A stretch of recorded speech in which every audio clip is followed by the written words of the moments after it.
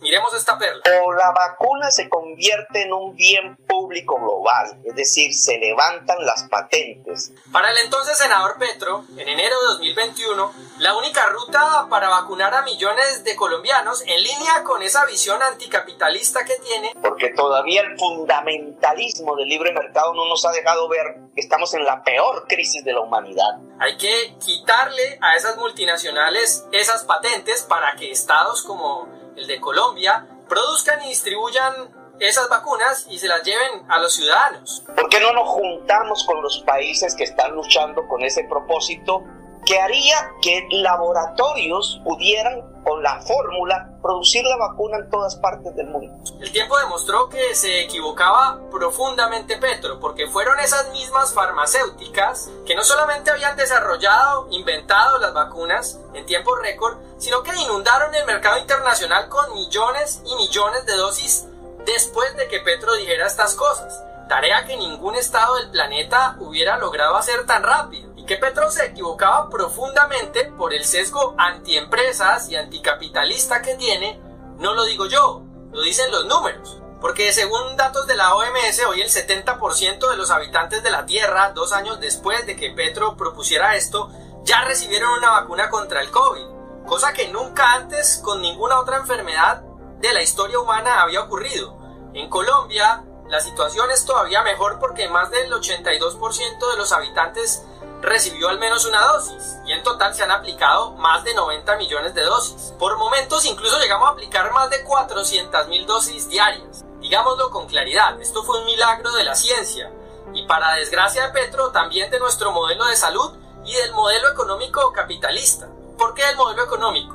Muy fácil de entender, porque cuatro empresas multinacionales, para despecho del presidente, se inventaron, produjeron y distribuyeron en todo el mundo y también en Colombia la gran mayoría de las vacunas que le llegaron a los ciudadanos, no a los ricos, sino a ciudadanos de todas las condiciones sociales, entre Pfizer, Moderna, Johnson y AstraZeneca, trajeron al país 75 millones de vacunas, más o menos el 75% de las vacunas que se han aplicado a los colombianos, sin expropiarles las patentes sin robarles su propiedad intelectual como proponía Petro. O la vacuna se convierte en un bien público global, es decir, se levantan las patentes. Más bien, justamente porque esas empresas tenían su propiedad intelectual, conservaron la propiedad de las vacunas y por lo tanto tenían incentivos económicos para llevar en tiempo récord esas millones de dosis a todo el mundo.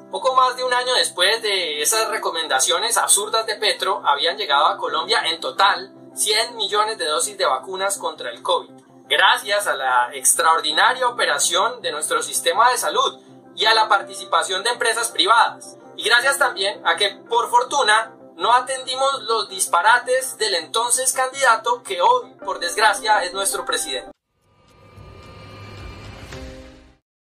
Hago un llamado muy especial a la institucionalidad antioqueña, a los gremios, a los medios de comunicación. Van dos decisiones que afectan gravemente la productividad y institucionalidad y, como no, la autonomía económica del departamento.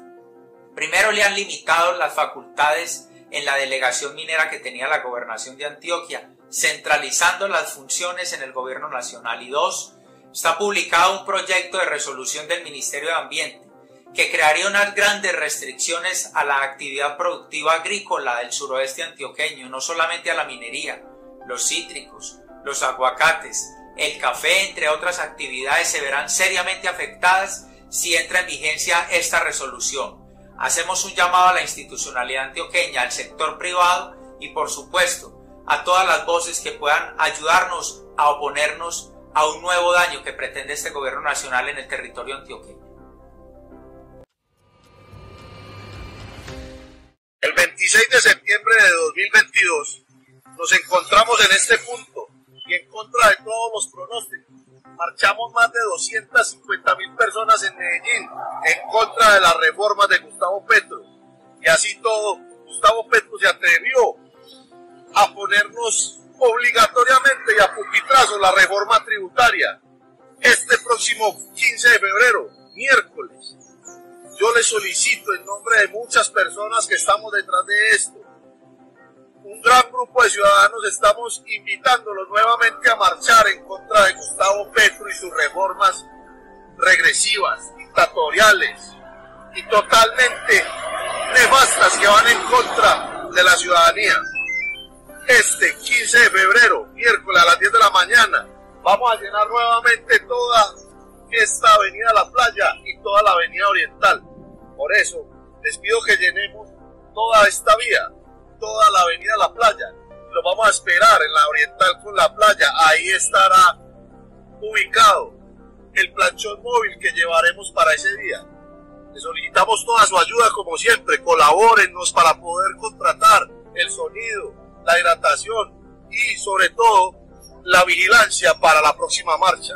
Es muy preponderante porque nos quieren meter la reforma a la salud y nos quieren robar las pensiones. Y lo más grave, e insisto, en Antioquia, nuestro departamento no lo quieren dividir en tres y no lo vamos a permitir.